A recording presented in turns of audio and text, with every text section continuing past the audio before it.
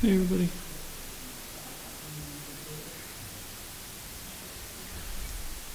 It is six thirty, I'll call the meeting to order. Inclusion. The agenda additions and deletions, I'm informed that we have none this evening. The minutes for April 4, 22, have a motion, the second to discuss. I'll make a motion. Seconded for discussion. Are there anything that appears to needs to be changed? Any questions, uh, commentary? I, I didn't see anything.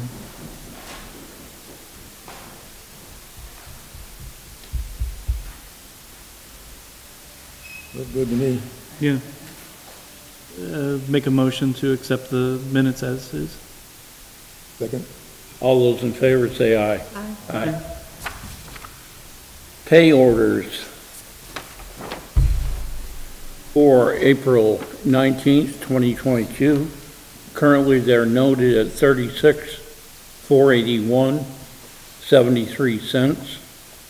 Uh, There are no additions. Do I have a motion, the second, to go over the pay order? I'll make a motion to go over it. Second? Anything that uh, we see that's out of place, needs to be changed?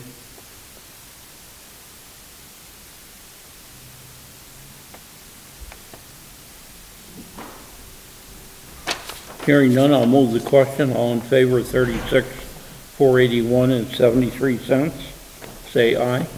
Aye. Aye. Aye.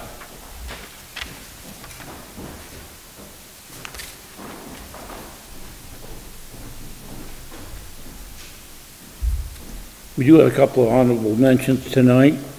Uh, It's noted that John McClellan had donated the uh, $1,000 Select Board stipend uh, to cover the cost of a a sunflower mural that's to be painted at the Elfin Lake concession stand. Uh, Wallingford Thrift Stop donated uh, $300 to the monthly newsletter, that is the Wallingford Standard. Uh, Carol Tashy and Dennis Du- Duham uh, have repaired and painted uh, picnic tables over at Stone Meadow. And I would also note that Rose and Jim Regula have put the uh, nets up down at the tennis courts for the oncoming season. Is, Phil's not here, do you want to wait on that, or is he coming? He is coming. He's coming? Yeah. And We'll hold off on that then. We can, um, do the Creek Road Bridge if you want.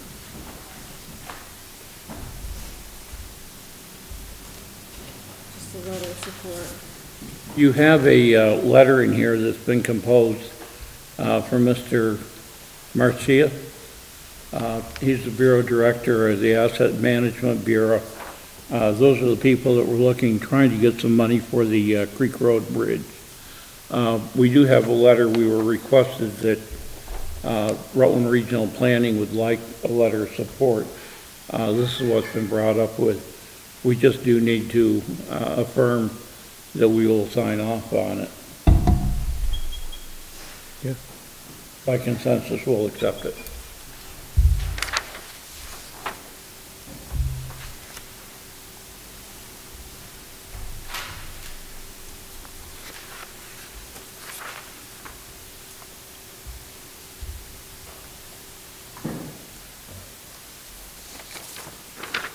In the additional paperwork that we've had left to us from Sandy's, uh, as a result, we received this from the uh, ARPA committee. Uh, They explain here briefly that uh, they would like us to, uh, I guess it's actually make a motion to uh, take the ARPA funding and transfer it to the uh, town account. Basically, what they're doing is they're making more available through the standard allowance uh, that we can actually do some items that we would not be able to do if it was left in the current uh, funding process. It also reduces the reporting uh, segments that will have to be carried out as the funds are spent. Uh, What can we do, Sandy, just I think there's a couple of members from the ARPA committee here that may want to speak to it. any anything from the people with the ARPA committee? Sure, go ahead. Uh, My name is Bob Allen, and uh, I was one that drafted the memo that you're currently reading. Under the ARPA rules that came out and were finalized at the beginning of the month, there is a provision in there that allows recipients of ARPA funds to transfer for lost revenue, and that's a term of art that's contained in the, in the regulation. And you can do that under a standard $10 million, or if the amount that you received is less, you can transfer that amount of money under this provision. Why do that? A couple of things. One, there's no question as to the amount that you transfer. It's presumed by the rule to be correct. As the chairman said, it permits much more flexibility in allowing the town to spend ARPA funds.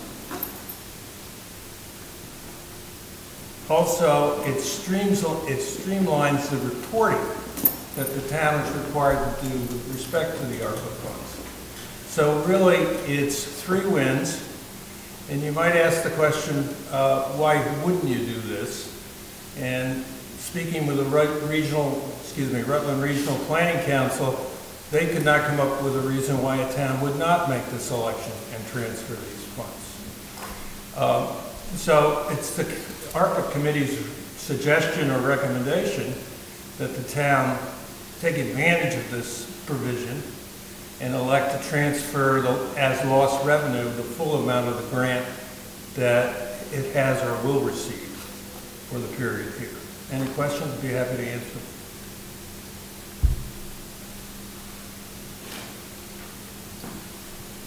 I would presume that uh, the funds that are going to be forwarded, I believe it's next year, they came, they'll be included in this. Yes.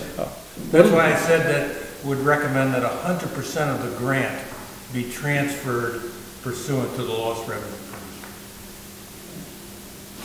Ann Awad, I'm also on the ARPA committee, and uh, such a transfer would not preclude us coming before you with recommendations for how to allocate that money, once we've been through a process. So is this almost like a, a formal recognition that we're taking the money and we're putting it into the town? And then we'll be using it as, as we see fit? Okay. Is the fact that we have it entered into the minutes that we accept sufficient, or do we actually need to record it? I would do a motion on this. Okay.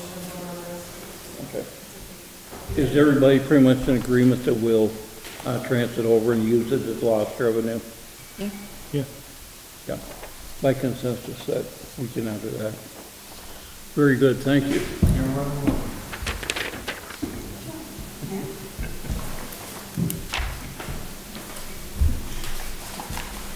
Is anybody here just for the general public comments, uh, that you don't really have any particular thing other than the fact you'd just like to throw something out there?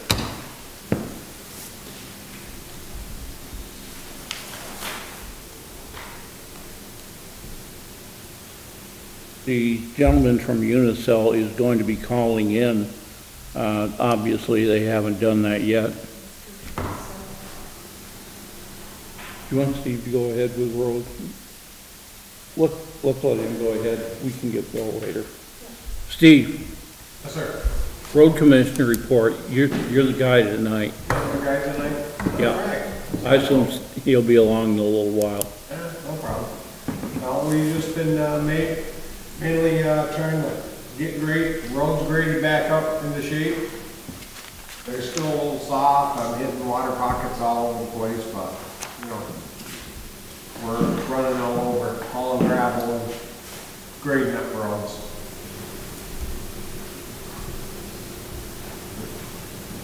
All the equipment's running okay? Yep, everything's, Everything's and- good. Yep. Yeah. Are we using the Ford at all, or are we keeping that like this as a uh, backup truck? The Little International? Yeah, the internet. Yeah, that's, that, we're keeping that for just a little backup, yeah. Yeah, but so far, everything's been good with, uh, with the Kenworth since we got it back.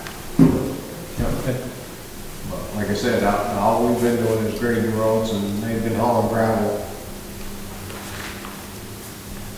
Trying to get things back into shape as best we can. Like I said, there's still a lot of water coming, coming down the road. It's unbelievable how much water's in the ground. You know, I look across the pasture across from my house there and it's wet. Listen, does Steve want to speak to the storm drain at the elementary school? He has a copy of that plan. Uh, That's what you have your hand, isn't Steve? Yeah. I think Bill's gonna handle most of that, I really don't want to go over right here.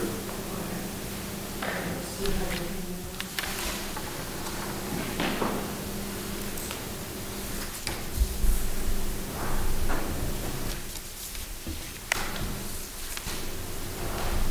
In our packet, there's been a, I guess you'd say it's a letter or a notice of inclusion. Uh, I know this has been a topic with a number of towns in Walling, or in the state. Uh, It's pretty short and straightforward. Uh, Is there somebody here that I believe is gonna present it?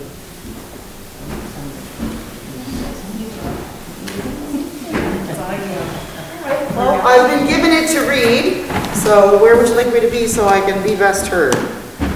Maybe here? Hi, good evening. So, that one works even better. Thanks. Then I'll give my phone back to this person, or her phone back to her. And there's a few people here, right? So some people came to hear this be read. I just wanted to share it with you. I know there was a process around this that I was only on the periphery of, other than agreeing to come and read it. So I'm Wendy Savory, resident of the town of Wallingford, and I'd like to read the statement that we're proposing be included.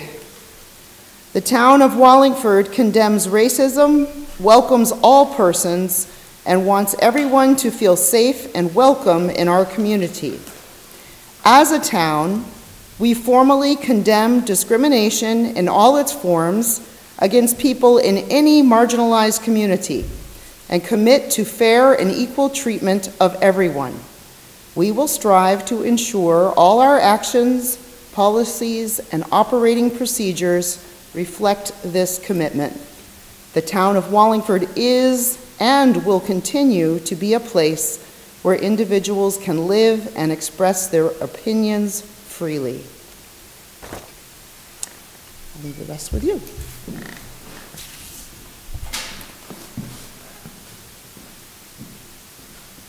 I would ask the audience and the board, actually, does anybody wish to have a comment or?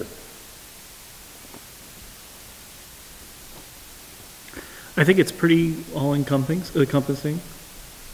Other DEI statements, um, diversity, inclusion, inclusion, or sorry, uh, I can't remember where the E is, but some recognize, uh, the fact that we live on taken, uh, Native American land. I don't know if we need to do that in ours, but that's something just to think about. Um, but I think it seems, I, I'm ready to sign it myself.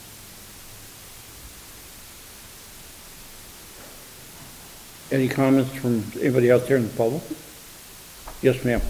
Ann Awad Memorial Drive. I was not part of the group putting this together, but I really appreciate the initiative and the thought that they put into bringing this before you.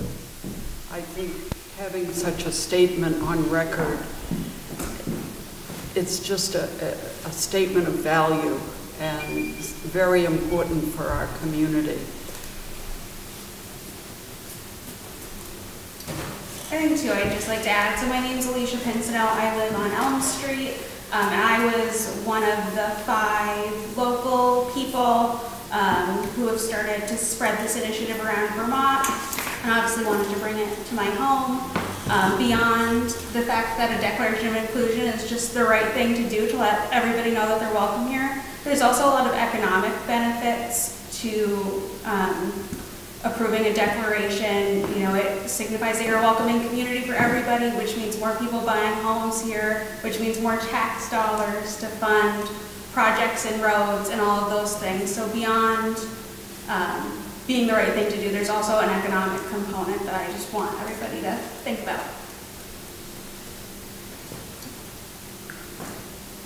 I do know that other towns, I specifically, I know Clarendon had an article uh, that was printed in the paper that their board wished to take a little time to discuss it. Um, I would ask the board members, do you prefer to take care of this tonight, or would you care to, uh, myself personally, sitting here, I have no problem signing off on it tonight.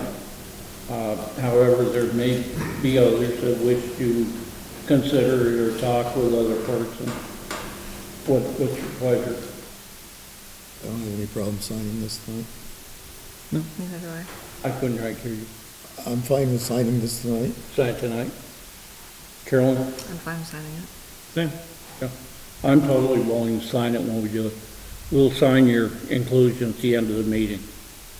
We thank you very much for stopping in and your opinions. Thank you.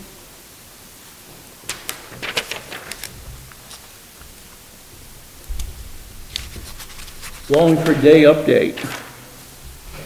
Um, Marie's not here yet. We're Yeah. a little ahead, but, but uh, Phil's here now. Phil, Phil Baker's here now, if we want to go back. Oh, Okay. I'm hiding over here.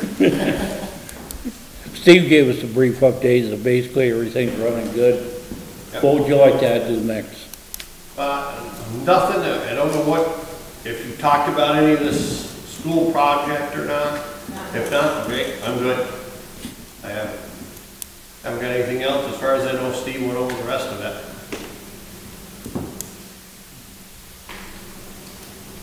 Do we want to jump into the wastewater stuff? Uh, we have a couple of things in the paperwork. One is the uh, pamphlet on the isol, on the isolator and stuff. Um,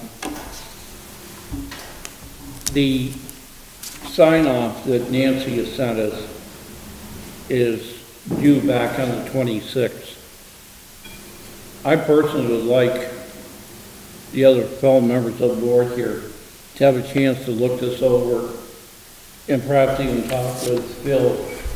Uh, My thought is, I think if we actually have a, a, uh, meeting later in the week, perhaps during the daytime, that we can get in here and discuss this a little bit more after you've had time to read the last of the emails and the isolator manual, or it- descriptive here. Uh, There are a couple of requests, and uh, there are a couple of emails from Mill River Union Yeah. that uh, they would like to address before it's signed off on. Uh, Is it agreeable with everybody that we meet later in the week, maybe one, two o'clock in the afternoon on one of the days? I'm. That works okay for me. I don't know. Carolyn? I, uh, did- I probably will still be at work. I have one day off this week, but I plan to be out of town. Okay. I don't get out till 4:30, so. Maybe Sandy can work on what day works out. She'll let us all know what the, what the timing is on that. I could also possibly meet um, virtually. Anything else besides that, Phil? No, I, I'm good. I, I was just gonna refer basically what Steve has told me this morning when I talked to him. Good enough. Everything else, was all I had.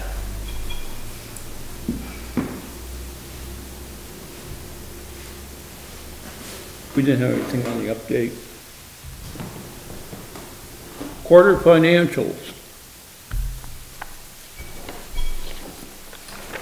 Uh, So I gave you, uh, I'm reporting for the third quarter, so we should be at seventy-five percent. Um, ordinance fines, I want to let you know, we just got a payment of 2,200, so that brings us up to 80%. I think we'll hit our budget. Uh, Transfer station fees are up over uh, $8,000 for this quarter, so we're already at 141%, and that's because of the increase in the uh, costs. Um, Interest on past due taxes is already close to 20,000, and we budgeted 13. And then the three, the summer rec, the Elfin Lake uh, gate and concession, we did not budget anything, so what we brought in is a plus. And under expenses, uh, the assessor contract, he's only at 54%. We'll- We'll see, uh, he'll uh, start working more hours with the, uh, now that the grand list is closed, with grievances. Road crew salaries and overtime is over budget because of the increase in salaries, so we can offset that with the carryover from last year of twenty-seven thousand.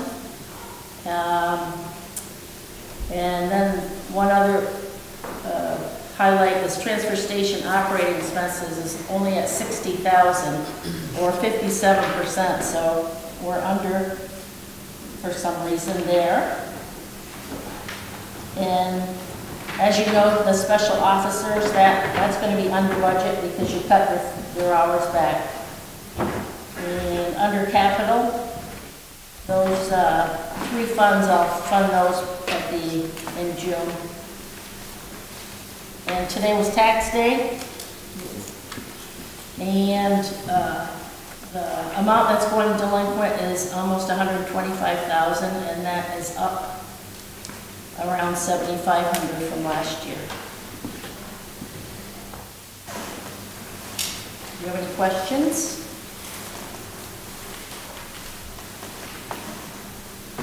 Any questions, or everybody good? I know we reduced the uh, full spec at the transfer station. We used to have facilities to pull it twice a week. Okay. compactor fit more in, so they only pro, you know, pull once a week, so That'll help. savings there. And I talked to Art today, and he's, he thinks once a week is fine, it's working so well, so some expense saved there.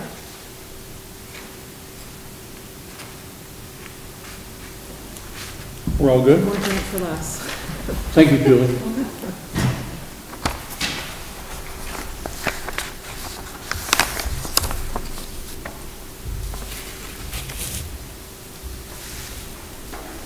A couple walkers or hikers over to uh, Stone Meadow this week sent us an email that uh, apparently the bud jumps that we covered over over there uh, have been opened up again. The, the trees that were covering them up have been taken away. Uh, and basically, the Conservation Committee, um, is kind of in a quandary of what we can do to eliminate that. Uh, the gentleman from VLCT who was over there, uh, doing some of their trail inspection indicated those jumps actually are uh, considered a hazard and a real potential uh, for injuries and a lawsuit come out of them. Um, Bill, I'm not sure what we can do. I know Charlie looked over there real quick, and he doesn't believe that we can get up in there with our excavator or anything we have. Do you have any suggestions? I had considered if we can get them jumps out of there, maybe placing some stones like we did down at the uh, Meadow Street ball field in their place there, if we can get them into that place and block it off so it'll be totally unappetizing for their future attempts at putting those jumps back in. Any ideas? Well, this is supposed to be at seven fifty, so I'm glad I came early. Um, we, we were, a week, uh, last Monday, we were, the whole Conservation Commission walked the trails, the, most of the main trails, to see like what needed work for runoff or widening or routes to be a tripping hazard. You know, he was giving us really good ideas on, on what we could be doing. a lot of it, which we could do ourselves, too. And, and the very last thing, this, these jumps were built unbeknownst to anyone, five, it's been five years now. So this has been going on a long time, and we thought the issue was done. So the very last place where we walked, we walked up the book path and up to where the jumps are, and lo and behold, we had put like logs around the edge so that the new multi-trail wouldn't, you know, you couldn't go over the jumps. And then the people from GE who had volunteered all their time, they had covered them all up with all kinds of deadfall and, well, they were all uncovered. And not only that, new holes had been dug to make the jumps even bigger. So the trail expert who was, um, he has a, a trail business in Castleton and his name was Drew. He looked at the jumps. He said, they are not going to be easy. I said, should we get our shovels out? He said, it's not going to be that easy. But the ones that they are again going across the rim trail, which is where people walk their dogs, read the stories along the way, and they're crossing the pass and they're bigger. And he said these were obviously amateurs because these bigger jumps across going down, they had cut off saplings to hold them for support.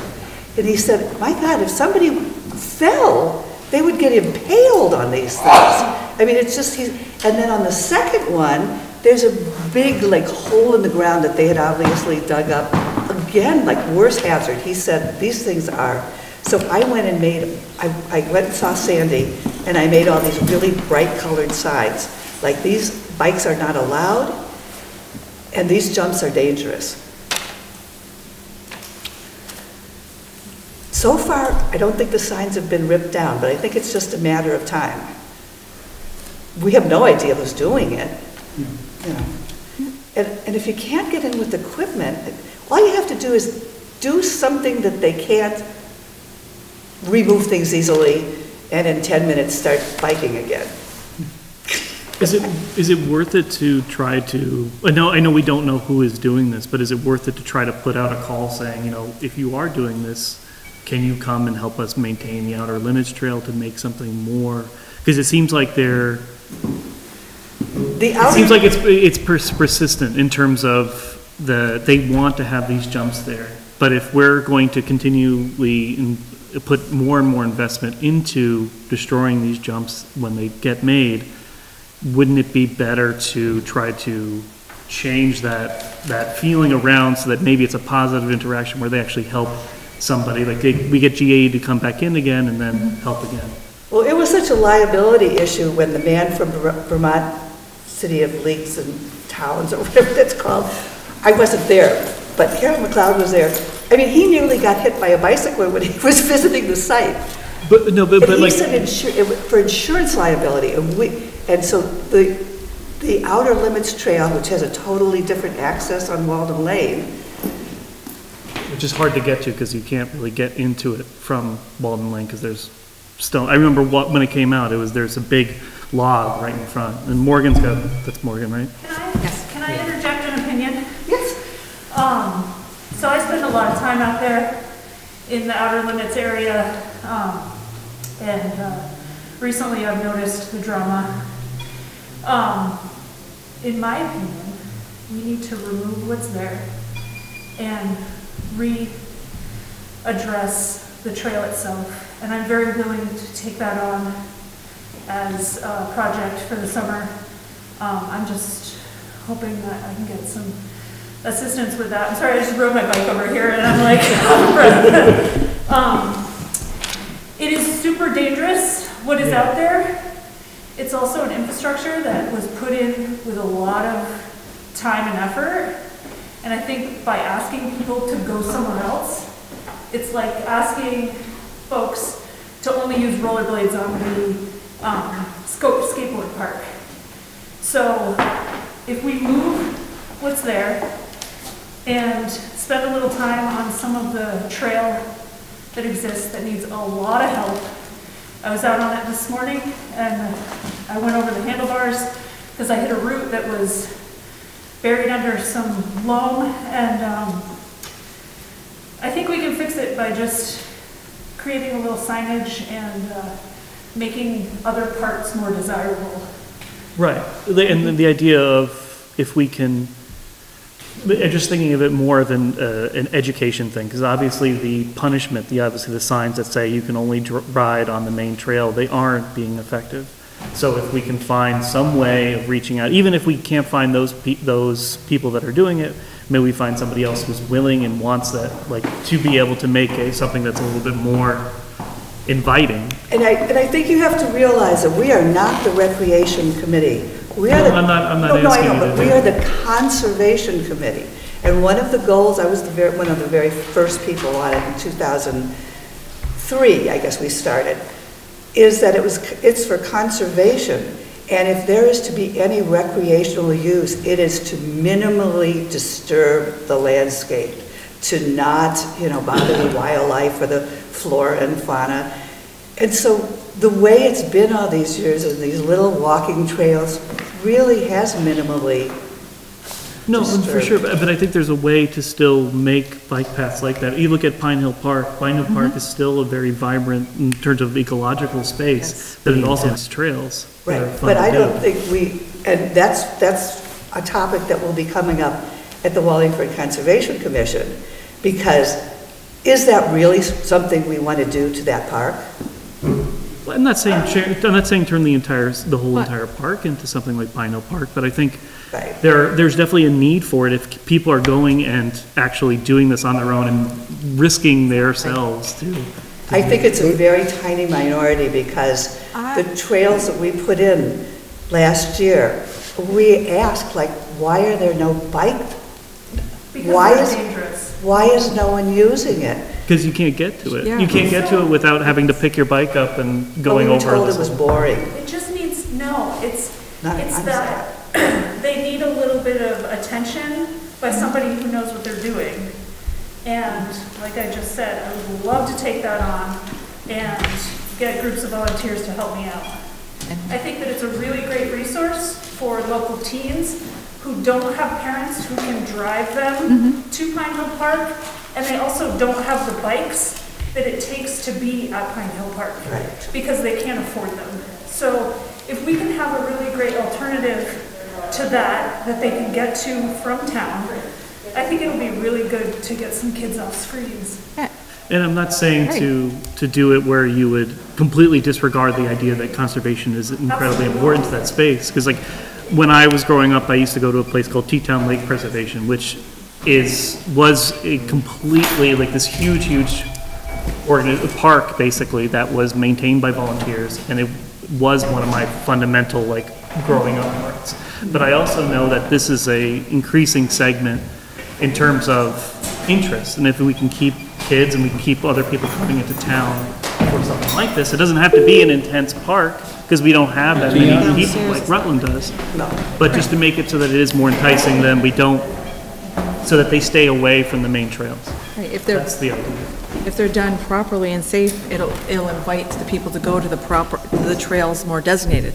There has to be able to make a compromise between, we'll say, the compro- conservation and the rec committees, hmm. because that area, and I, you'll find that it's more than just teenagers and children. Many adults want to do that too.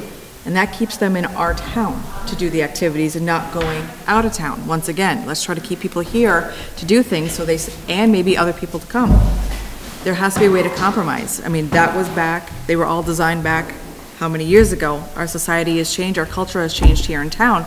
We should address to see what changes need to be made and find, make safe trails. And Morgan, this is, this, Morgan knows this stuff, this is what she does. And e- even if we don't mimic Pine Hill, they have a lot of resources that we could, like Shelley Lutz and stuff, that can help design things to make it safe, but still Right, well, keep it's a the big area. issue if we should even be attempting to do that in that small area. No, and I, and, and I'm not trying to, We could to, come- to- It's not, it's not a Pine Hill Park. No. no, and I'm it not should trying to be. dis- di- discredit the idea that these are dangerous, and I, I don't want dangerous things to be on our thing, but we also, I think, if there are people that are willing to take the time to do this on a public piece of land, then we need to redirect that energy to something that will be safe and will be used. No, they- Channel their energy to help build it Not to properly. do it for five years on those, those jumps. But it's not working. If that's We not could working. come back to the problem of the jumps. It would, it would be my suggestion that we hire Phil to go up there with his mini excavator Yes, and just dig the, dig the, dig them out and flatten them out. If you look at those jumps, you can see somebody originally dug a hole and then just piled up a lot of dirt to make a couple of jumps there. I think Phil could probably, if he looked, he could get in there with his mini excavator, take the jumps right out, fill the area back level again. Right. I just think that if we just do that and we don't address the idea that somebody is wanting to make these jumps over and over and over again, that we're going to be paying Phil, as much as Phil might like the money on it, like, we're gonna be paying him more and over Well, my over. other suggestion would be that maybe, I mean, the bike trail comes up off the road, basically from the south, and curves up around, and it kind of comes close by the rim trail. Maybe we put in a split rail fence that physically separated mm-hmm. the walking trail from the bike trail. Yeah, yeah. Because we put logs in, but they just rolled them away. But Somebody the just idea rolled of a those fence is good. Yeah, and you, Half of the jumps are on the other side of Rim Trail. There's one here, there's one here, Rim Trail's in the middle. right, so getting, getting rid of the jumps first, but then trying to make sure that somebody who does want those jumps, they, there might be an outlet for them coming down the pike, versus them saying, oh, these people destroyed the jumps that I worked on for hours upon hours, I'm going to make them again as some kind of And move rebellion. them, because if they jump off the first one, which is on the right-hand side, and there's somebody coming they don't notice, they're, they're gonna Right, hit them. and Morgan, yeah. if we could just remove, like you were saying, the jumps that are in that area and have a load of uh, gravel dumped over on the, um, the road that takes you out to the camp, over near that side of the park, we can't do that. It's, a- it's, a- it's the project, it's the boys' It's the camp. fire district. But So it's, how- it's not the how far- town land. How far can we dump, can we use that road to dump a load next to the trail that's, We tried to get the jumps down there. Number one, the kids said, no, this is an awful place. Well, And kids are gonna say no 'cause they're husband- lazy. The father said, oh, it's dangerous. The parents said And it's also a nature corridor, so we Okay. can't build it there. Okay, And But there's a in section- the process of talking about that road, because I wanted to have an entrance down there. Yeah. end, They said no. We figured out, oh, we could stay on Waldo Lane and come in Waldo Lane. But then nobody was interested in wanting to do it at that. at well, I know for a fact that I, with a truckload of gravel, that I can make that section over by the critter camp, that section of the outer limits trail, I know that I can make that the most desirable spot for mountain bikes. With maybe two weekends worth of work.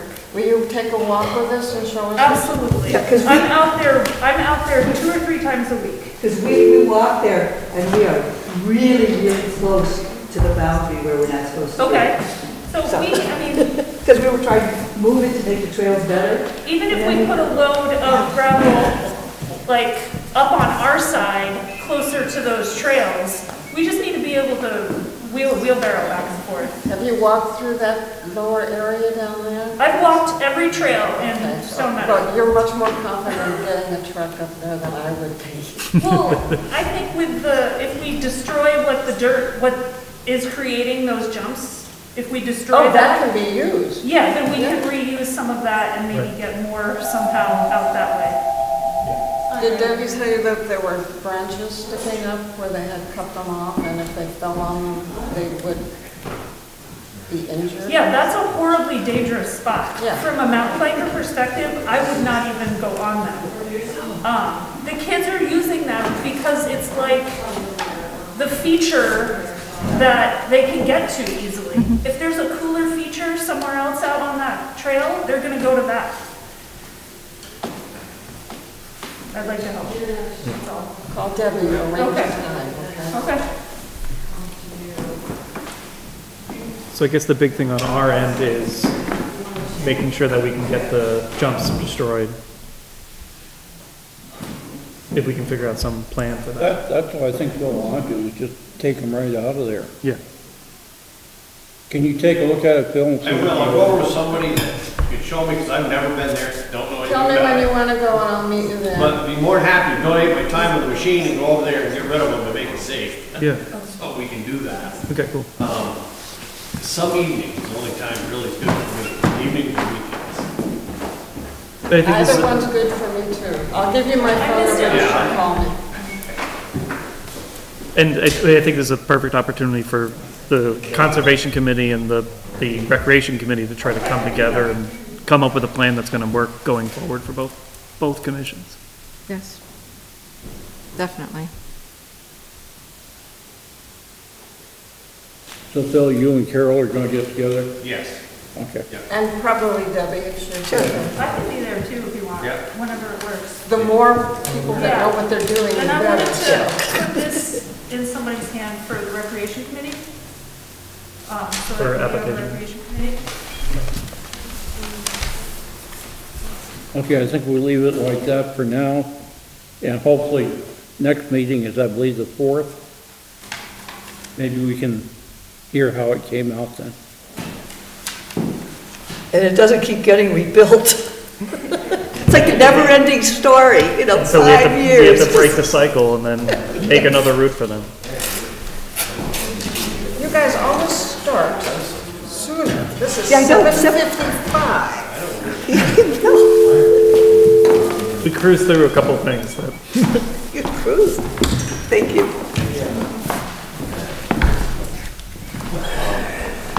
Yes, the next two days are after Thursday, meeting, Thursday, Friday. okay. Try to slow down. Get back to, I see, Yeah. Call downstairs or something? Yeah. I will, Bob, no, we'll go over and get these tore out and get them out of there. Then we can work on building something else. You'd be surprised right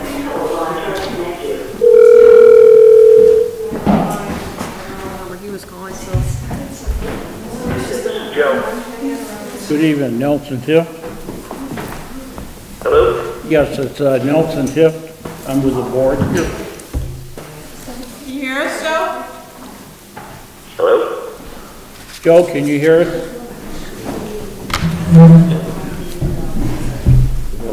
No, let's move It's on. not, I, it's, yes. Can you hear us, Joe? This is, uh, Wallingford Select Board. Nope. On.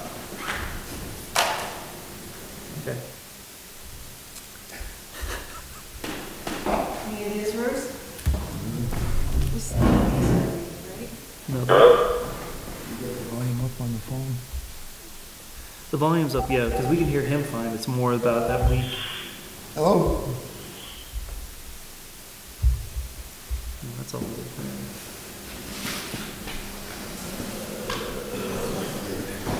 Real weird. So, the only thing I can do is. Hello, Sandy? Yeah, I'm gonna have to hang up on the phone on this. It's speaker on this. Okay. It's not gonna be very loud, but.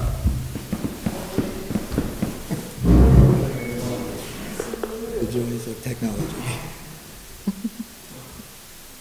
It's not. There you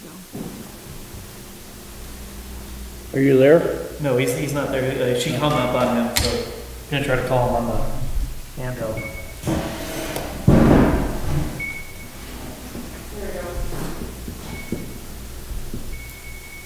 Hi,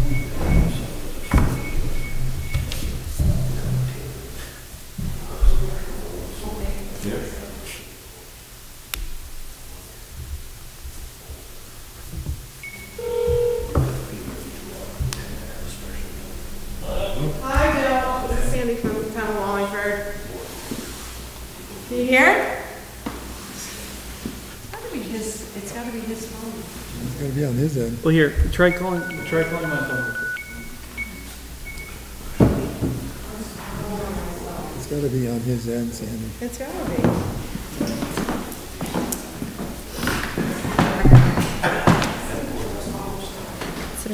Just, we just can't do it till the next meeting.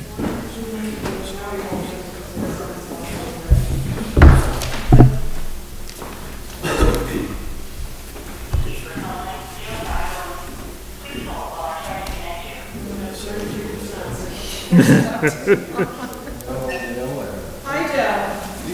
Can you hear me? Okay, I have you on, I have you on speakerphone, so, um, you have to use my cell phone, so you're, the select board's here if you want to give us a brief presentation.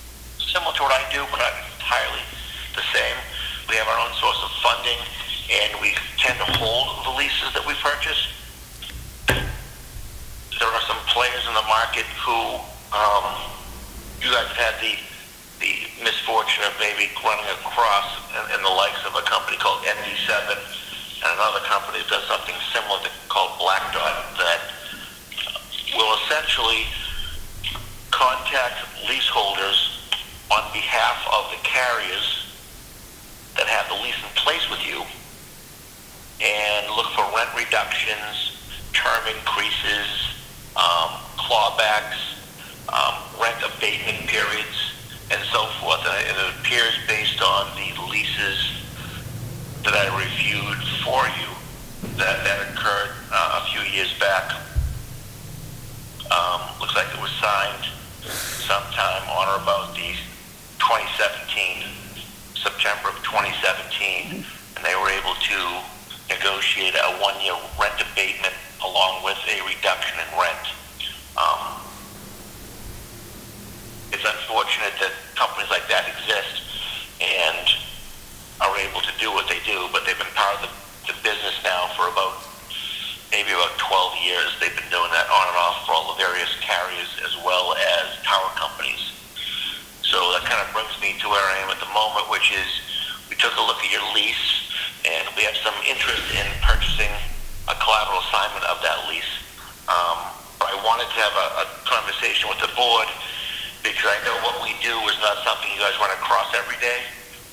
I've done it for a long time. I talked to, over the years, you know, thousands and thousands of landlords or lessors with these leases, and there's usually a lot of questions just about what we do, how we go about doing it, what, how does that leave the lease with regards to standing in the lease lessor lessee relationship. Um, I'll answer a couple of unasked questions all of the lease terms and liability of the lease still remain with the lessee, so they're still required to pay um, the electricity, they're still required to pay for liability insurance, they still have access to the facility as they would under the existing lease. All we simply do is provide uh, a lump sum and or scheduled payment for the right to collect the, the rent from the lease for a given length of time. Um, what that does for you, allows a stable, budgetable income stream for the next 10 plus years, or depending on the length of term we, we talk about. If the lease goes away during the term of our purchase of that lease, we absorb the financial hip, the financial impact of that loss, not you guys. If the carrier decides to leave or any additional calls from either Black Dot or MD7, certainly we've dealt with them over the years. We would essentially handle all those um, calls for you. There is no, there's not a lot of downside risk from your part taking the transaction. We take in excess of the lease terms, meaning if you have, in this case, the lease started in 2017, the rent commenced 2018, it runs for 15 years from 2018, so 2033. We would buy in excess of the time left on the lease, and if, in this case, AT&T, if they were still um, a viable wireless opportunity going forward, we would re-up that lease with them. Uh, if they leave in the meantime, they leave in the meantime.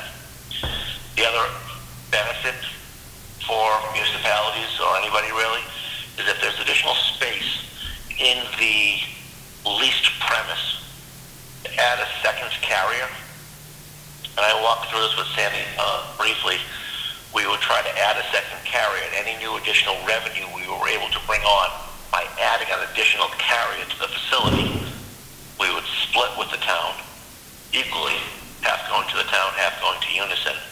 Um, that new revenue stream you have the ability to either keep as a, regular monthly income, or you could call me up and we would be happy to provide a proposal for that new stream of income.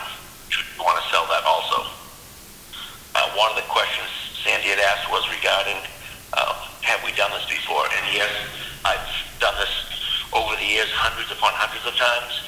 Um, with regards to municipalities, yes, I've done it with municipalities. With regards to have we done it in the state of Vermont, um, I'm going to go back and pull up some of the stats. We've done, I think it was 39 transactions since April of last year through April of this year within, within the state of Vermont. And we had a breakdown of what they were from with regard to types of entities. And I'm just going to try to find the um, exact breakdown. We had done one with a church, a nonprofit. We had done 15 with individual property owners, one with a large corporation, uh, 13 with small businesses, two with tower companies, and seven with unknown entities, which could have been trusts or trustees or estates. Uh, any questions to this point? What's the bottom line? Are what you're gonna offer comparable to what we're getting from AT&T right now? I'm sorry, could you repeat that? It was, it was very hard to hear you. What is your bottom line? Is the money offered comparable? Yep. So essentially, the, based on what we had, uh, what we looked at, and, and Sandy, correct me if I'm, I'm wrong, please. The current rent you're getting is fifteen hundred and eighty-nine dollars and 92 cents per month. And that's set to go up in July of this year by, by my calculations, by 3%, which would put you to, um, let me see, 1589. We're, we're, um, we're earning eighteen thousand nine eighteen thousand nine hundred 18,900 in FY 20 twenty-three, we're scheduled to earn nineteen thousand six fifty. So nineteen six fifty annual is, right? That's an annual number for you guys? Yes, starting July one. So that would be the sixteen thirty-seven fifty. Um, so at sixteen thirty-seven fifty, which is the number I would probably use, because we wouldn't close, we'd probably close sometime, if you want to do it yesterday, we wouldn't close before that time anyway. You'd be in the three hundred and, give or take, three hundred and thirty thousand, three hundred and thirty-five thousand dollar range. I haven't actually come up with an exact figure, because I was expecting to, uh, just kind of walk you through the basics tonight. But You'd be in that 300, 330, or 330 to 340, 330,000 to 340,000 dollar range. That can be paid out over a lump sum period.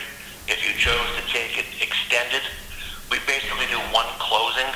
So we'd close, even if you wanted a scheduled payment, we would close, let's say, for argument's sake, you know, June 15th.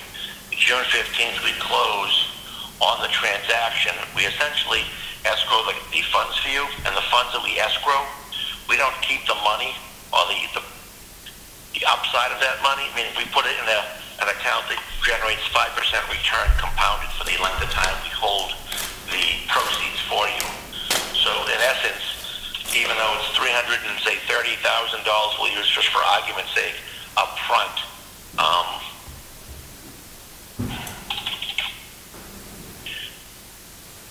if it was paid out over a schedule of nine years, so 10 payments over nine years, that same 330,000 would pay off four, just over $400,000 over the nine years.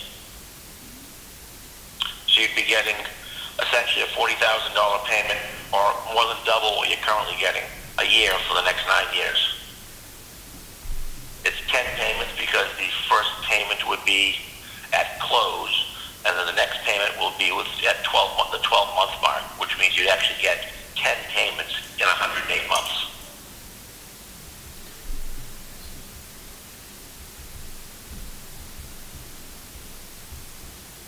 And one of the other, I guess, points I'd like to make is the how we pay the money out, how we pay the proceeds out, is entirely up to you. And I say that because we've had we've had municipalities who have wanted to see a portion up front and then a schedule, you know, one payment every five years. We've done it where we've done small payments up front and a balloon payment in 10 years. You really can schedule the proceeds based on your needs so as not to having, not to have, I don't think Sandy had mentioned this goes into a kind of a repair fund, is that correct? A maintenance repair fund for the town? It's a building fund. So, you know, if you don't have needs now and you, your building fund is generating either, you know, a very low interest rate or one that's certainly below the 5% that we provide, you could keep it with us and we could pay it out as a schedule. What, what we can't do though is if you, once you come up with a schedule, whatever that schedule is, once we lock that in, we have a hard time adjusting at that point. So you'd, you'd receive a promissory note based on the schedule you provide us that you wanted to see it, but we couldn't accelerate that. Um, or if we did, it would have to be recalculated based on the length of time left. So it would be less than originally quoted if you came to me, and say, year three, and said you wanted it all at that point in time. How long has your company been in business? 21 years now. I started doing this for a company called Wireless Capital that started the asset class back in 2000. Um, and I ran the, I ran New England for Wireless Capital. I left them. I came to Unison. I left Unison. I went back to Wireless Capital. I, Wireless Capital sold their last portfolio and got out of the business, and I came back after a small break, came back to Unison. So I've been doing this essentially on and off for about 17 and a half years. We've added in that time period uh, four and a half million dollars of new revenue stream to the leases we've purchased. Know, we've split with the landlord, million dollars worth of new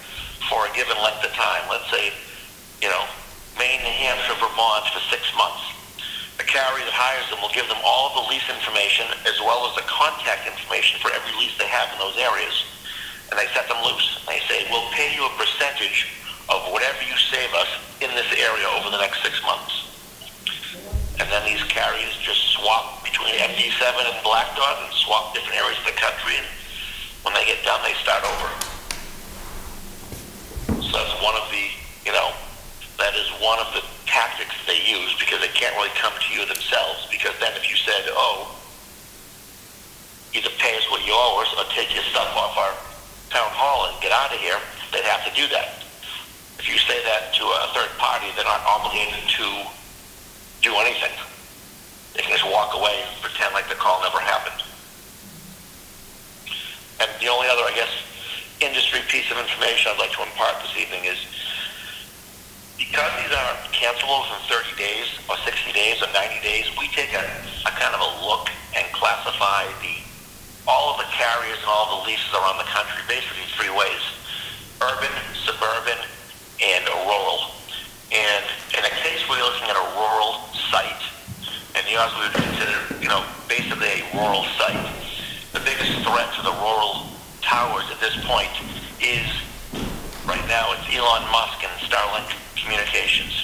Him adding satellites at an alarming rate. The carriers feel they don't have to upgrade the, well, they're not incentivized certainly to upgrade the rural sites with new equipment going forward because the expectation is they're going to have a hard time increasing subscription base in those areas to justify the, the cost investment in those sites. So essentially they're saying, hey, if, if we lose subscribers to Starlink, then that's just the cost of doing business. And if they lose the significant enough subscriber base to those in those rural areas, they'll just let those carriers, those you know, those placements go defunct. That was 375,000 sites around the country, and more often than not, the carriers don't are very swift or very nimble with whatever they do. Um, our view is Starlink won't take a significant impact in the industry for the next five to seven years.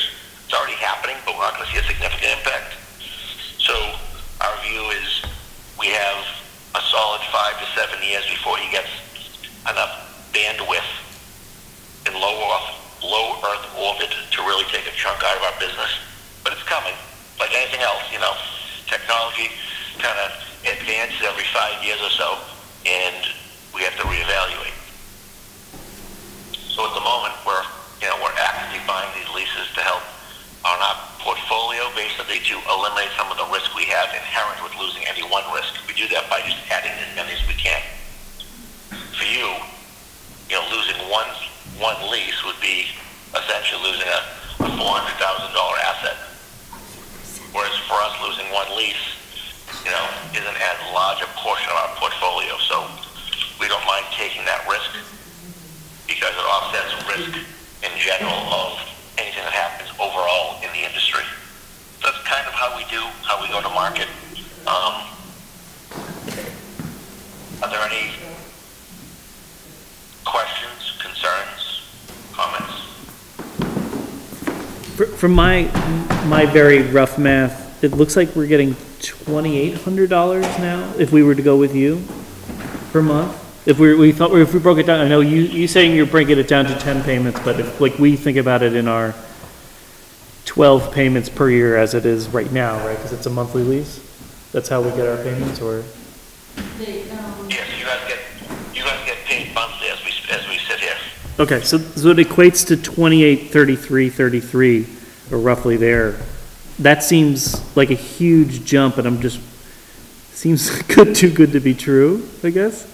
For like six hundred dollar jump. Can I just ask you a quick, I'm not sure that we're on the same, I'm not sure what number you're quoting, I apologize.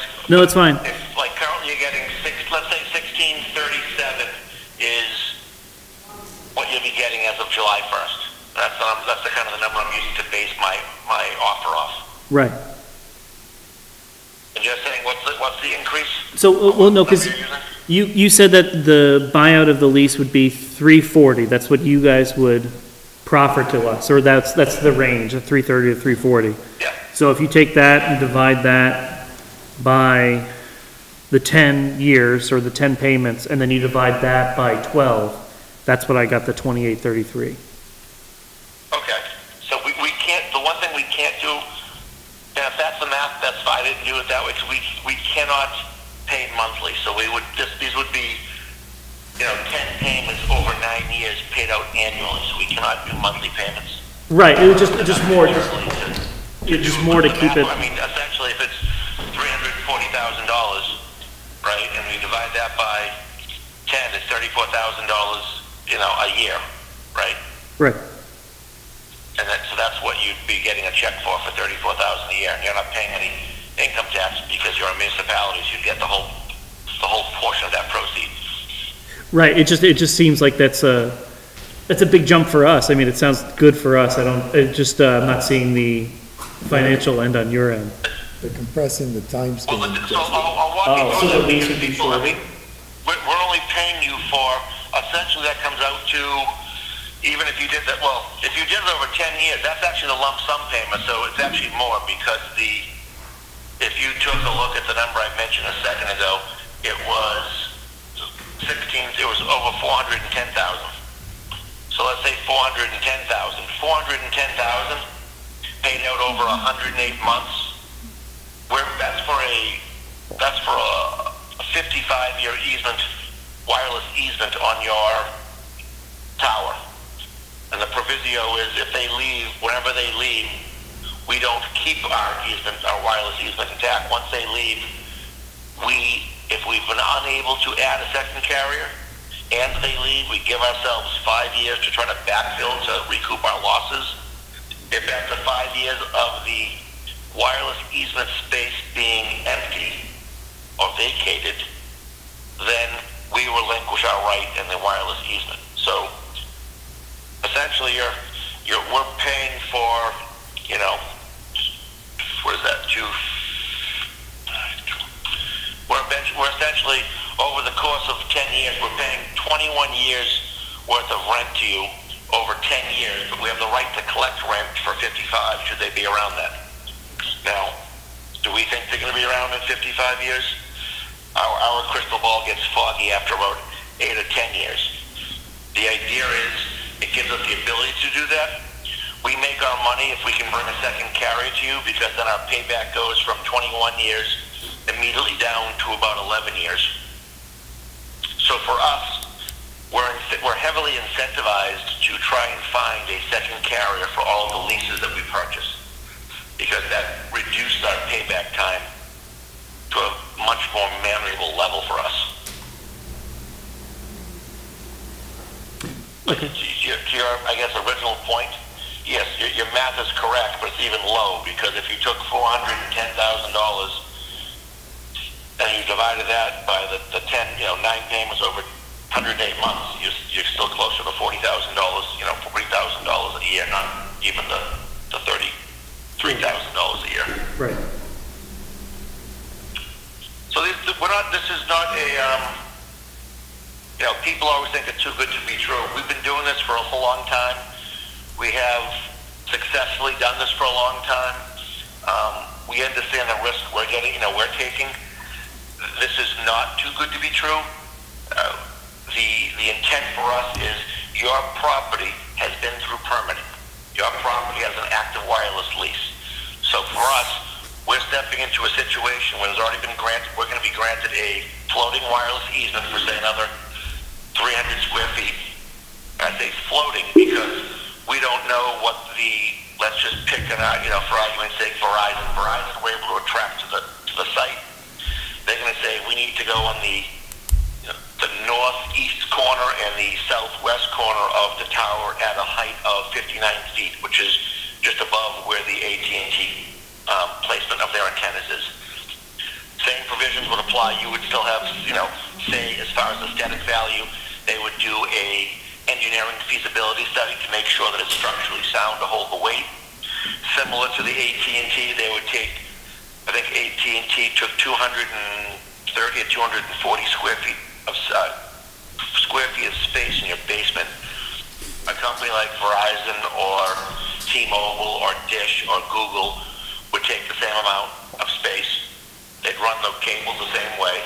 And when they came on, we'd negotiate the lease, and a new lease in your area would probably be closer to $2,000, in which case you'd be getting a new revenue stream of $1,000, and we would keep $1,000. We split it evenly with you.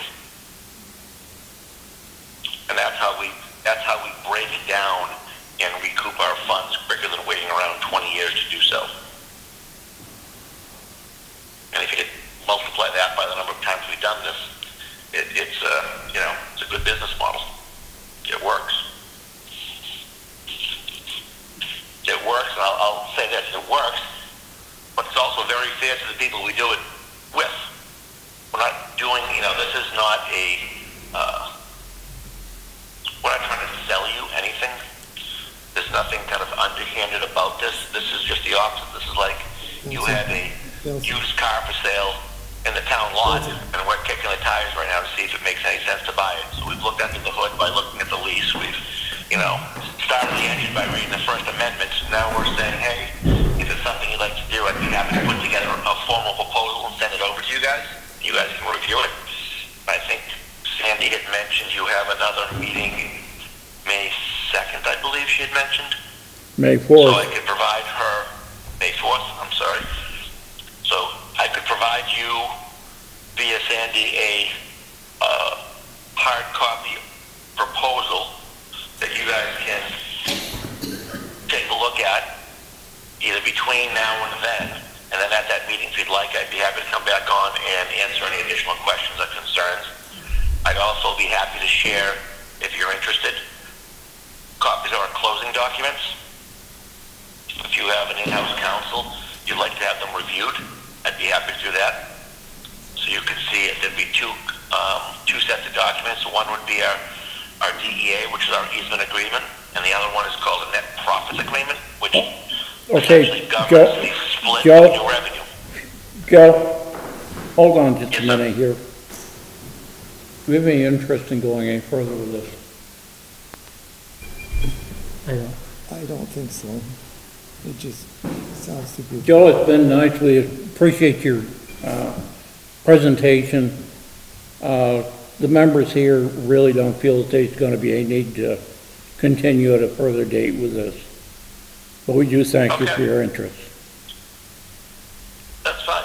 I have no problem with that. I appreciate your time tonight. If you- I'd still be happy to send a, a copy over to Sandy. You guys can chew it over, but, um, after that, if you are not interested in pursuing it, that's entirely your decision. Very good. Great. Have a very pleasant evening, sir. You too. Thank you very much for your time tonight. Thank you. Good night. You're welcome. Thank you. The one time you had your battery charged. Summer rec program update. Oh, Lisa, but Lisa's on, She's out of town. she's out of town. She's in Florida, I think. And Lori, Lori sent me an email this afternoon that she's, She couldn't make it, so we just, should we just push it to? Yeah, but just Um, put it, put it on for the fourth. You want the, uh, Maria's here for the Wallingford Day of the East. Right. Uh, Is there anybody here for the master gardener? Yes. Yeah. All we have on that is just an application, I believe. Um, I assume everybody here has had a chance to read it in your packet.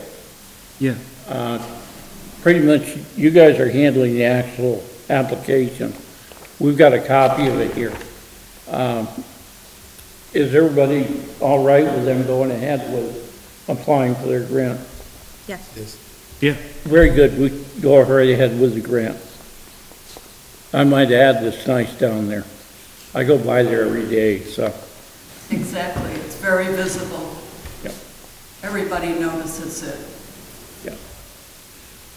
Okay, uh, Oh, um, Nelson, Maria's here if you want to go back to lawn for update. Um,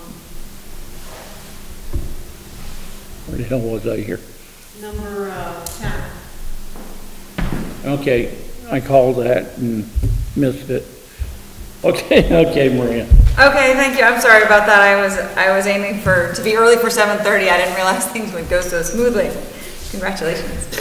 Um, So, um, we are moving ahead. We've got, let's see, um, we've got fireworks penciled in. We're gonna get you that form that we had last year, um, for all that information about the fireworks that you need to have.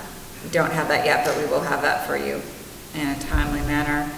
Um, we're still working on where and when the food trucks are gonna be here and various recreation. I went to the recreation committee meeting last week and they are tentatively supportive of having the Wallingford Day be, um, be a, I guess, a subcommittee of the recreation, com- I mean, be, be under the auspices of the recreation committee. Um, Sumio, who was here before, has volunteered to be the liaison between recreation committee and Wallingford Day. Um, The one question that came up was what was the liability of the town for the day of, of the event? And we're still figuring that out, if that's something above and beyond usual. I mean, If it's, if this is a law, if this is a town event, if, if lawn for day um, is a town committee, there's not going to be anything extra. Okay. Assuming the fireworks people have their own insurance. They do, and they have to provide proof of that, so. So, I mean, if- if the Wallingford Day group decides to become, with, along with rec, a subcommittee or whatever, and you do follow the open meeting laws, agendas and minutes and Right. like that, then it's just, it's a town committee, just like conservation and energy, and if they put something on, like conservation does the winter days over there, there's no extra, you're just volunteers of the town. Right. There's no extra. Okay, that makes, that makes a ton of sense, and, and that just means we have to be a little more organized about announcing our meetings. Well, I mean, you, you're. But I you're underst- doing minutes anyways, so. Right. Only other need an agenda. Right, we just need a, yeah, a more, a more clear agenda and, um, to put it out in time to warn it in time. But I think I'm, I think we can handle that. So, but, but we're, we're moving on, there's, um, plans for, a- there's still talk, there's about a historical tour of Wallingford. There's going to be a scavenger hunt where people go around and look for things around town. Um, Things that already exist, not things that we place there.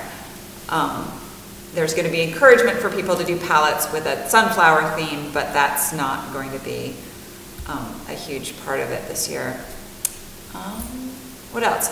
We're, we're in the last stages of hiring a DJ for the evening, which, just to change it up a little bit from live music, and also that offers us a broader range of music that can maybe bring in everybody and can go right up until the fireworks.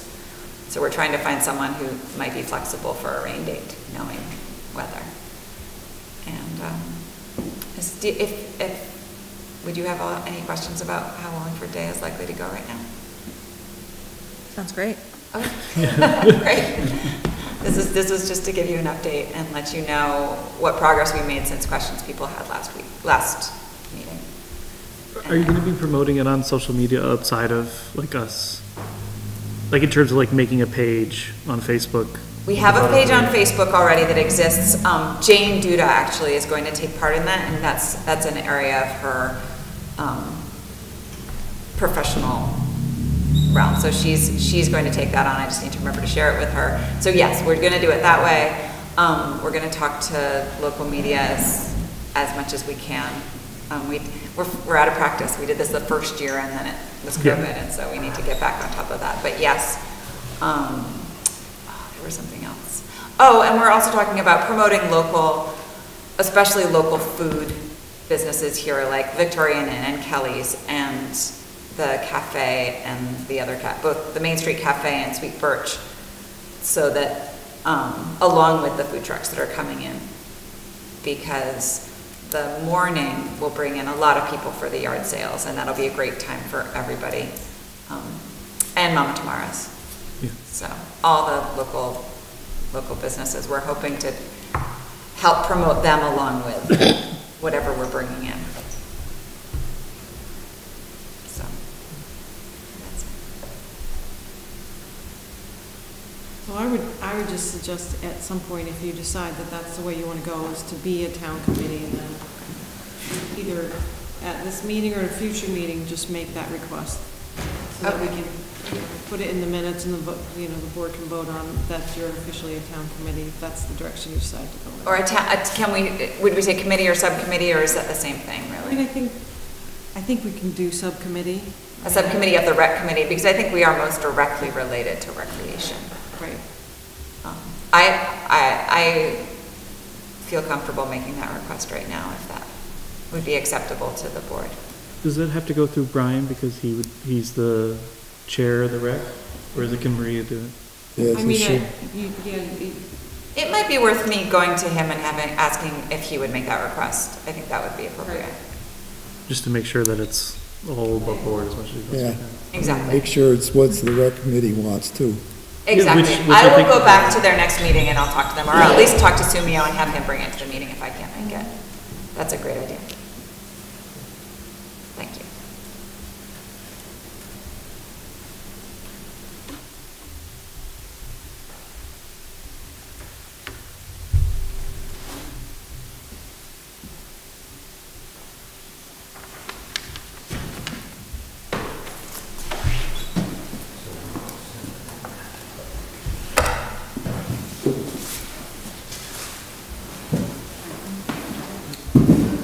We're good.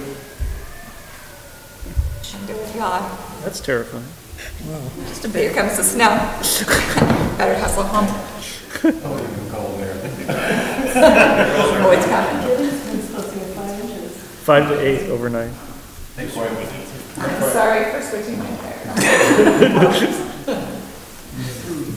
What's next? Summer salaries. Thank you, Maria. Thank you. Uh, Sandy tells me that, uh, the young Luna lady that's been our lifeguard for the last two years, uh, was not gonna be able to do it, but she now is going to be available, uh, three days a week as lifeguard. Uh, I would just know before we get into the salaries, this is gonna be your third year. So I think probably we're gonna have to consider that she be paid a little more than we would normally pay the, uh, well, we have one initial lifeguard who this will be his first year. I think you have to take in consideration that, uh, three years to the one year and give her a slightly higher pay rate. Right. Especially when the new, new kiddo, he's not been certified yet, so we're still waiting on him to be certified, but she's certified and goes She's through next year. certified and all that, yep. Yeah. As That I makes said, sense to she's me. done the last two years. Yeah. Um, You have a list basically of the, the ones that have to be set here. Um, I would note that basically, we gave the town employees a three percent raise, uh, or we budgeted for a three percent raise, um, for the, uh, transfer station and, uh, the highway guys, we only uh, budgeted for a one percent raise. Uh, That being because we had actually, uh, with the new hire, we had raised all three members due to the changes to the, the starting rate for Lori. Um, Does anybody have any suggestion what they'd like to look at? My, my own thought was that, uh, for the uh, employees, possibly three percent again for them.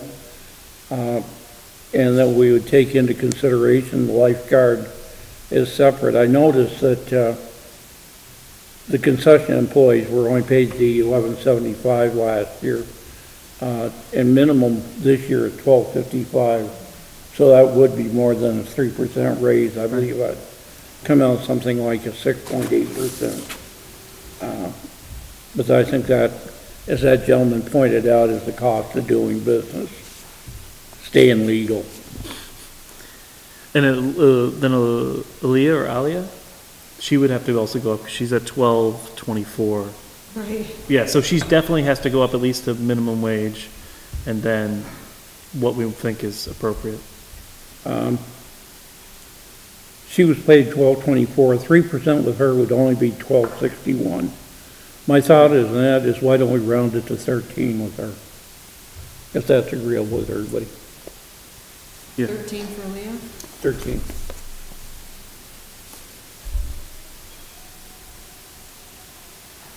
I think three percent for everybody else, especially with how inflation is hitting everybody, I think that's Yeah. more than okay. Or not more than okay, but it's what we can do, we should. do. Tra- Traditionally, in the time I've been here, it's normally been from one to four percent. Okay. This table's so squeaky. Every time I move. So, Is there anything else there we need to look at, Sandy? Yeah, we need, what do, what do you want to pay Ethan? Who? Ethan, Oh, right, he's the new one. You Yeah. gotta pay minimum wage, right? uh, I mean, we usually pay lifeguards more than concession. I mean, concession always gets minimum, we pay lifeguards more than that. right, lifeguards should make a decent amount more considering the responsibility that they have over a concession person. Right. And it's- So, so the Well, last year, she was paid about fifty cents above the concession rate. So do we change it to like thirteen twenty-five, and then we can put Ethan at, um, twelve seventy-five or something like that? That seems reasonable. So that he, that the lifeguard is still, even if it's not that much of a big bump, especially if it's his first time doing it, then. Yeah. Yeah. He definitely will, needs more than the uh, concession does, so, Yeah, yeah, because he'll be on for more than something. right. What's that do to the budget? Does that work? Is that good with everybody? So twelve seventy-five for Ethan and thirteen twenty-five for Aaliyah, Yeah, Yeah.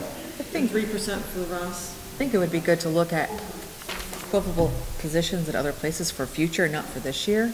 Because that could be part of our issue in trying to find lifeguards, yeah. is, That's an issue everywhere. Proctor no, hasn't no, I been know, able but I get also know in. the other places pay more. So they're gonna, anybody that is gonna be there would be going to the higher pay rate.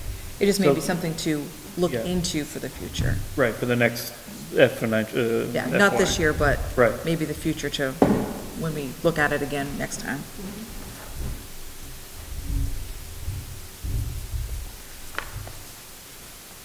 The PACIF safety grant, this is for the guys down to the garage. Uh, Basically, they're looking at signage package. Uh, And you do have a copy of the uh, application here. I assume that we're all okay with that. Sandy's put us in for this, I think, the last three, maybe four years. Yeah, but especially if it's hundred percent this year and 50-50 next year, I feel like we need to. Yeah. And, um, the road crew picked out these items too, so they had a chance to weigh in what they wanted. They wanted the sign packages.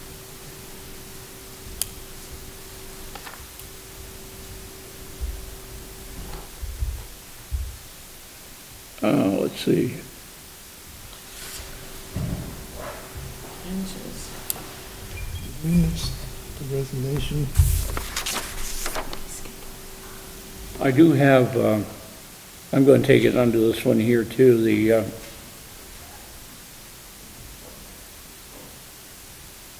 we received, I think you got a notice of it, that uh, Bill Brooks has submitted his resignation Uh, for the De- Development Review Board and the Planning Commission. Uh, Bill was actually the former uh, chairman of the board for a number of years.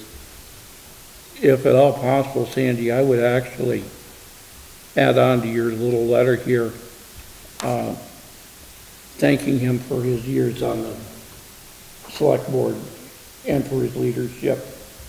I want to say, I think he was the chair for six years.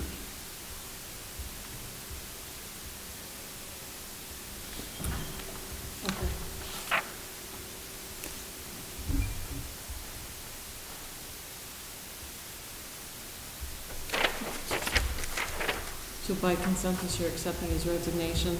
Pardon? We're accepting his resignation. Gonna say no. I'm sorry. Sorry, you have to stay. I'm assuming by consensus. we I, accept. yeah, I mean, I don't think I wanna force him into it. Lynn Brown approached Sandy, I'd say a week or two ago, and uh, suggested at the time three benches along Main Street. I have to agree that benches on Main Street would be handy. Uh, I think somewhere in your stuff, that, uh, we had a photograph of the bench that was being made for the, the stone carving studio. Uh, That's what's referred to here in your paperwork, uh, that that might be one. Um, It might well be what they'd like to put over at the library. Yeah. Uh, I think it would look nice over there. Um, So I, I would be totally in favor of assuming that it is offered to us, that we accept and ask the library if we can install it there. And it's also a, a major regional, um, artist Yeah. studio, so being able to have another piece of art in town is always. It always helps. Yeah. Uh, Currently, I'm sure you're familiar with Rutland is making a, uh, I'd have to say, a a well-organized uh, effort for art in the downtown area. Yeah, and I'm on the operations team of 77 Art, which is a artist residency Right. in I knew town. that. So, yeah, so yeah, we're, there's lots of art being happen, art happening. I mean, there was conversation about putting that stone bench at the Boy with the Boot. I just don't know We'd have to- how it could go there. It'd be tight. And That was the whole discussion we had about the bus bench. Or something like, if- if, if we had something like for a bus bench and use that for that bench, and then had something nice in front of the library, especially because it gets a nice sun, and it would just look nice, it would be, uh, it would be able to be away and not have to be crowded with everything else. So I guess the big question is, where would the other ones go? If we did do this, and do we have the budget, or how would we fund this? It wasn't budgeted, so. I think, I think that is, but just throwing it out there for the moment. uh, From my own observation, there is a tremendous amount of foot traffic, particularly during the summer, going to St. Patrick's Cemetery. Yeah. I think that area of the shoulder there, that with the trees and everything, I think that'd be a potential spot that we might put one in there. I know a lot of people walk down and then stop and wait around there and then come back. Right. So it'd be a great rest stop. The only thing I would think is that come winter, then that's void. Basically, it wouldn't be accessible. Um, it's hard telling, yeah. Oh, yeah, hard, for sure, hard telling, but just because that sidewalk ends right there and then. Yeah, yeah. But I, I like that idea, especially because it'd be able to look at the fountain and everything would be cool.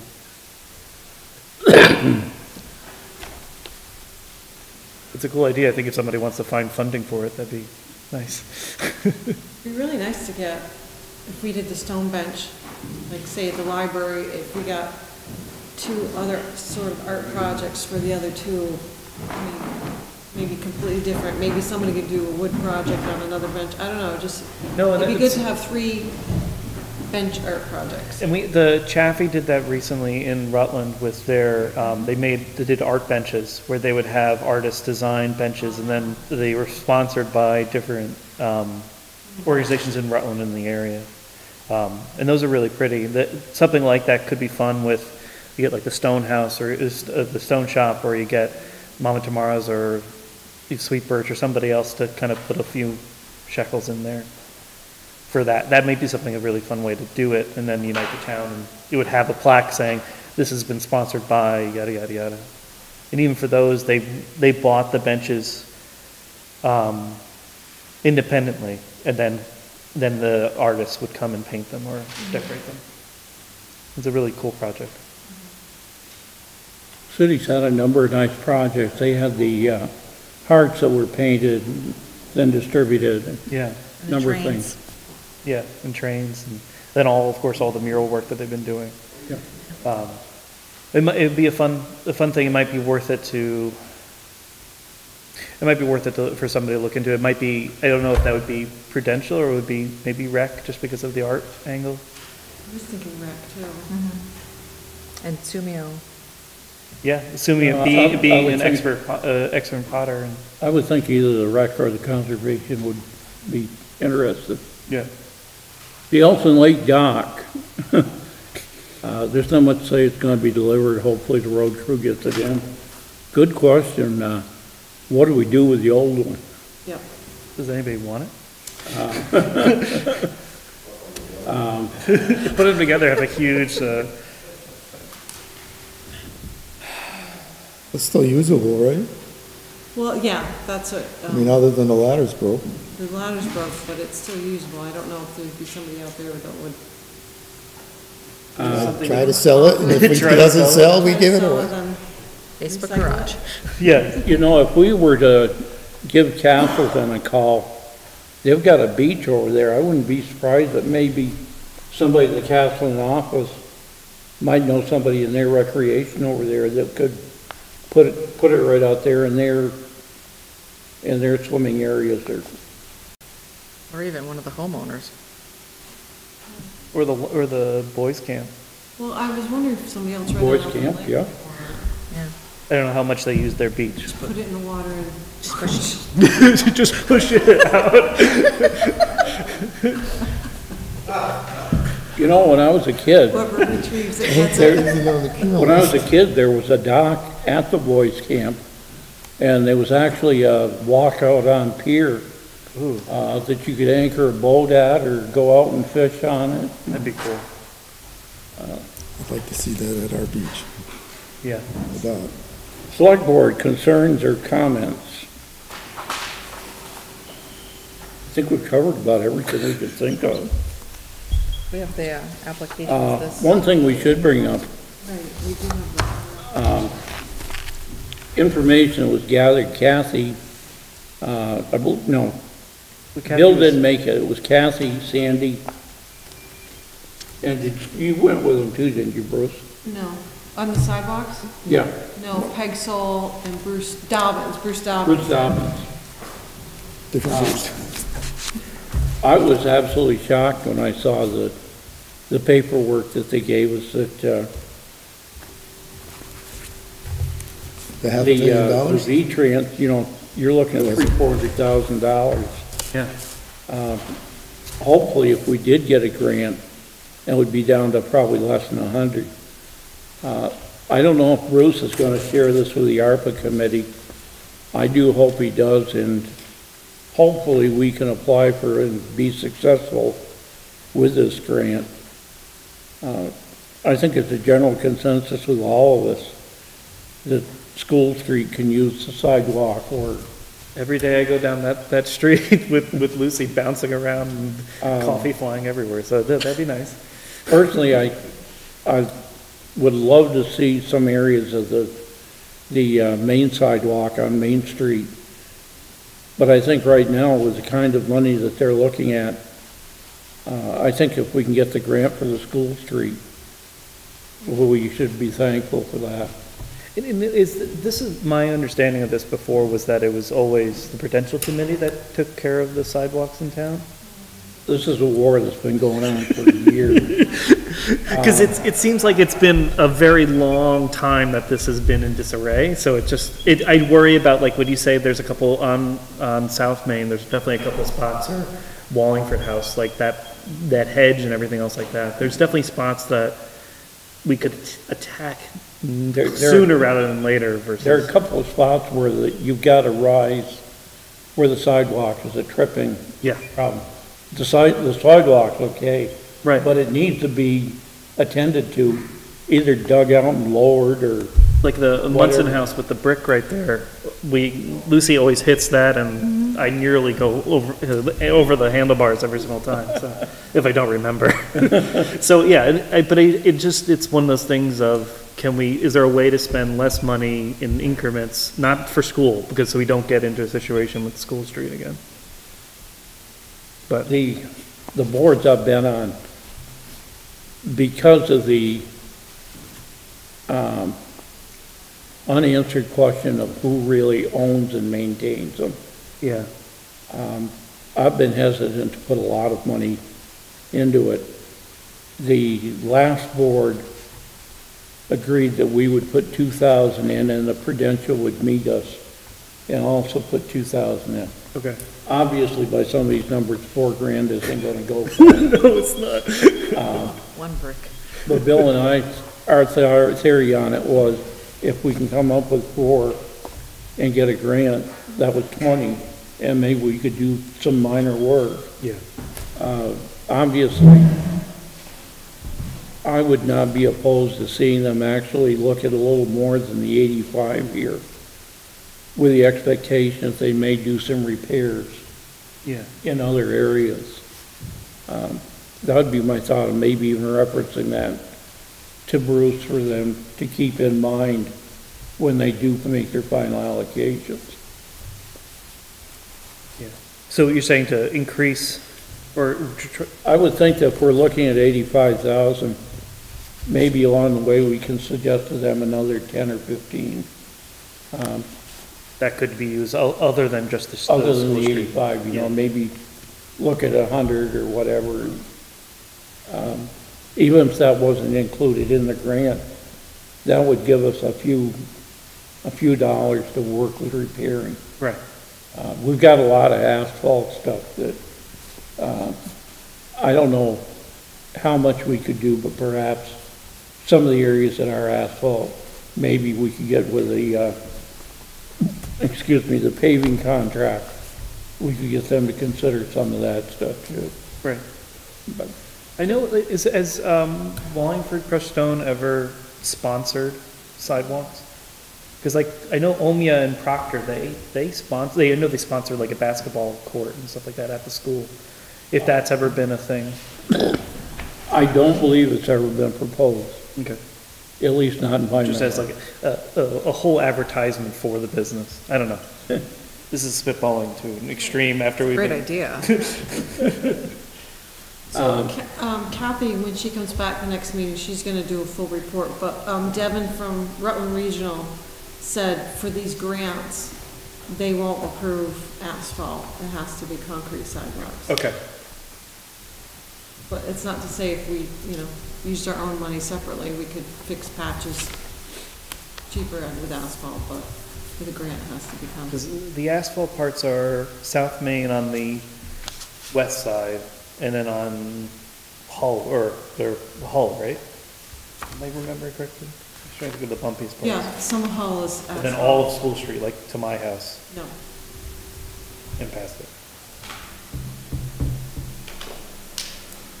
We did also get a, uh, letter from the town of Rutland addressing what, uh,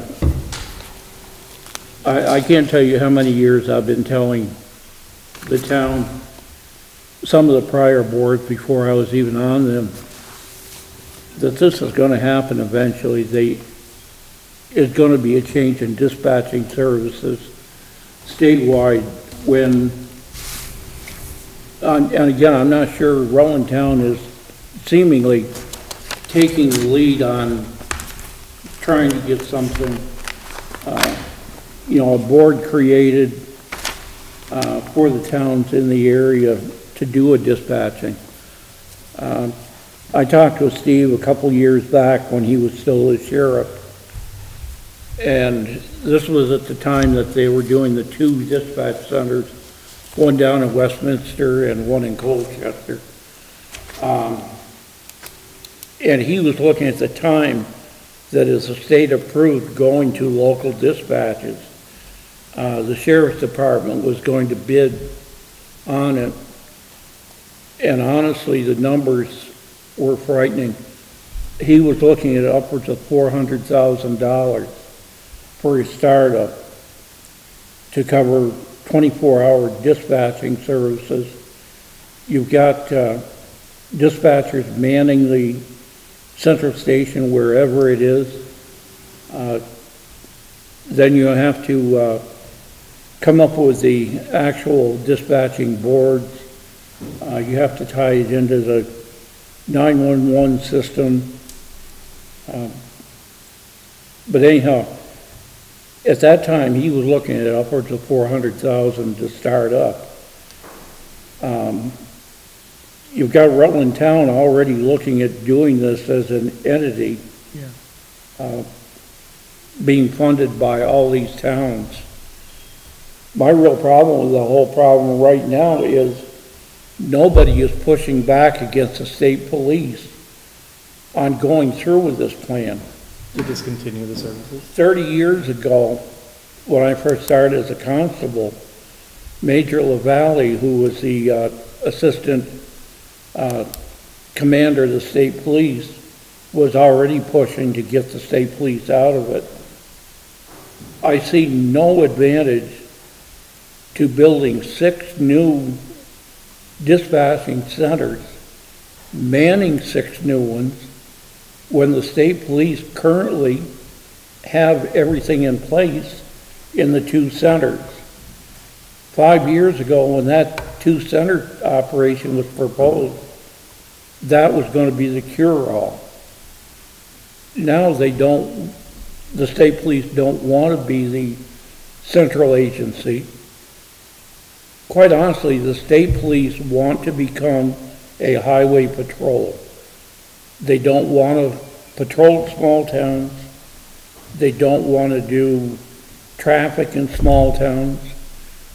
They don't want to be responsible for answering these nickel and dime calls where somebody's silver dollar coin collection got stolen. Their initial mandate, their uh, purpose for being was to be an agency that would handle major crime, provide technical support to law enforcement agencies. Over time, they have pretty much dominated law enforcement in the state of Vermont. Why they have this push that they don't want to be any longer be the dominant law enforcement in Vermont, I really don't understand. We've got a state police dispatch center that works. By their own account, they have 193 different entities that they're dispatching for. And I might add, quite well. Why are we going to go to a half a dozen newly created dispatch centers, all at an enormous cost to the towns? You have small towns like Mount Holly, who I'm pretty sure have nothing in their budget now for dispatching services beyond what Mount Holly Rescue may be contributing. Um, Wallingford certainly um, is going to be shocked by the amount of money. Wallingford is the eighth largest town in this county. After you get past Wallingford, you've got Danby, Mount Tabor, uh, Mount Holly, towns that are not budgeting for any of these services through the town. The state police are being paid out of the general fund. Everybody in every one of these towns is paying taxes to the state. Let the state continue paying for it out of the general fund. These services are for every single person in the state of Vermont. Why are you trying to make each individual town responsible for their own residents? It's also, it's standards of callers, uh, of, of the answerers and everything else, like, that's gonna go down when you have so many different organizations trying to patchwork it together versus somebody that's been doing it for a long time. Yeah. Where are you gonna find them? Yes, and where are you gonna find that many dispatchers? Can you imagine the transition? Well, hopefully our two state senators and hopefully our resident, or representatives will start thinking about doing some pushback. Um, Is there a coalition of towns that is, like, starting to sign letters by, on behalf of select board saying, Not that I know of, no. Um, In their letter here to us, they mention that, uh, I think they're basically trying to form a loose coalition, and they're looking for our support. Personally, I can't support this whole idea.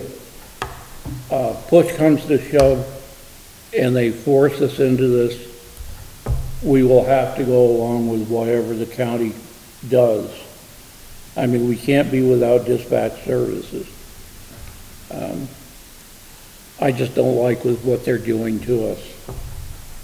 i- is there a way that we can say we support the fact that you guys are trying to plan for this, but we just do not support the circumstances of why you have to plan for it? Or do we have, or do we just wait and see if there's other towns that start to talk about it more?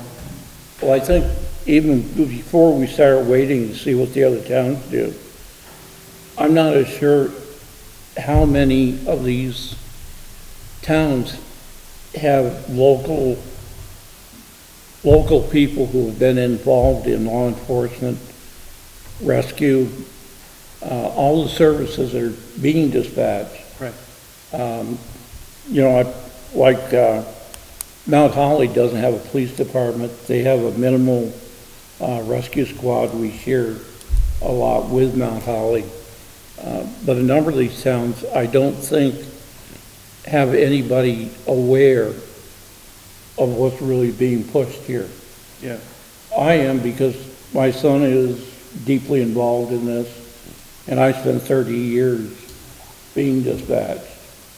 Uh, I, I would myself like to see us trickle a word up to Rutland Town that maybe, we may be forced to do this, but let's push back on, with our legislators and at least raise the question of the actual need of going to this type of a system when we have something that is working. It's not perfect. I don't know of any dispatch system anywhere that's perfect. But certainly what we have for what the individual taxpayer is paying is probably our best deal. Right. Do we know if the, our representatives are even aware of this themselves, to know to push back on it? That's it. Would, would it be all right to have Sandy just drop a note to them that Aye. We that's, would- that's a pro. we'd like your support of asking our representatives to push back against this? I would think just as it's much as other 11 towns may not have the knowledge on it, who's to Yeah. say our Yeah. representatives The- do The either. state is looking at eleven million dollars currently to do the changeover, and only three thousand of that, or three million, is for down the road. For, eleven million's not gonna cost, or is not gonna cover what the total cost is to all these, for this number of dispatch centers that they have. I mean, basically, aside from possibly Rutland PD, uh, Burlington certainly is in a different boat. I'm sure Chittenden County is all in over this. Uh, But I sincerely doubt that St. Johnsbury, Newport, smaller areas like that are going to be in favor of this. Or like a Peru or a been- Landgrove where you're in the middle of the woods. Yeah, yeah. Has there been some kind of movement on this, Nelson? Because, I mean, we've been hearing this for 10 years now, that, that it's been going away, but it never does go away. Yeah. Just gets kicked down the road a little bit. Yeah, I mean, I remember my kids in the fire department 12 years ago talking that the state was threatening they were gonna, they were gonna stop dispatch services, but, and it has never happened. I guess it's the thing, like, it, do we, is, is it, do we, yeah. Yeah, I don't know. It seems, it seems like. Writing a it- letter does seem like a good idea to do. Yeah, I like writing a letter saying, and saying it definitely to Rutland Town, and then maybe if we have relations with other smaller towns and saying, you know, this is something we noticed, we respect what you want to choose for, but we just want to let you know this is what we've thought about. What we think is best for our town, or probably would be something similar to for yours.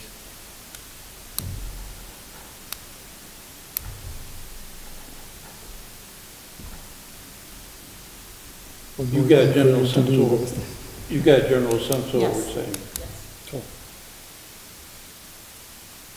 My thought is we leave it to Sandy to come up with her normal. Yeah. The polished version of our. The word is good. Uh, is there anything else? You got an application, right, for Oh, yes. employment? What was it? Yeah, Josh. For is Got another an concessions. application for employment? Oh, yeah. Oh, Lord, yes. Um, he's looking at concessions.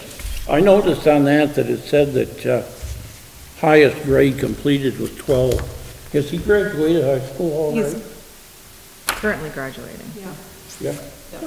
He's a, he's a really good kid. He actually could have sold himself better in this, honestly. Because he's the head of several committees at school. He's in Interact Club. He's Tri-M. I assume everybody's in favor. He's a great guy, so. Yeah, and I checked in with Peter Bruno on his list because he's just a personal friend, and he said that he's an excellent stand-up. He kiddo. really is. Great. Yeah, Jill, uh, our assistant town clerk knows him too. She said he would be excellent. He's, yeah, I mean, he's a hard worker and he's got a great personality. yeah. Excellent. Apparently a very nice singing voice. Amazing singing voice. It's not even nice, it's amazing. Is there anything else I've overlooked? If not, how about a motion, the second? Motion to adjourn. Seconded. All in favor? Aye. All right.